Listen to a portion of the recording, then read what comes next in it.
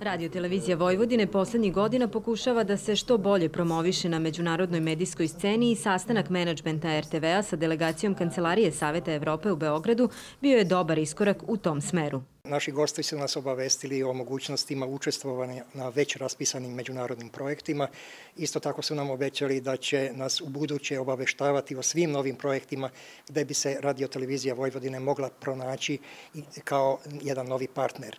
E, mi smo njih sa naše strane obavestili o specifičnostima radiotelevizije Vojvodine, da emitujemo program na 16 jezika, da imamo veoma razgranatu međunarodnu saradnju, prvenstveno sa matičnim zemljama naših manjina. Jedna od stvari za koju smo zainteresovani je to što u Srbiji imate mnogo medija na manjinskim jezicima. Razlog moje posjete jeste da se informišem upravo o programu na manjinskim jezicima koji se na RTV-u koriste.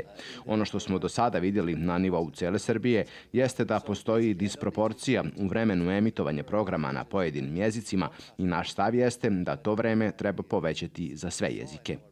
Delegacije su razgovarale i o velikom programu RTV-a zakazanom za maj, kada će u našoj kući biti održana međunarodna konferencija na kojoj će predstavnici javnih medijskih servisa iz regiona biti upoznati sa planom osnivanja Međunarodne Dunavske medijske mreže.